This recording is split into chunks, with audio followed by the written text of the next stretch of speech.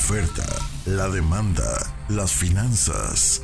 En México en serio el Instituto Nacional de Estadística y Geografía dio a conocer que la producción industrial en México, en su comparación anual, creció 1.4% durante agosto de 2014. Este resultado se debió al avance que registraron los sectores económicos, donde se destaca la construcción con un avance de 4.5%, la generación, transmisión, distribución de energía eléctrica, suministro de agua y de gas por ductos con 1.5%, mientras que las industrias manufactureras obtuvieron 1.4%, registró dicho organismo.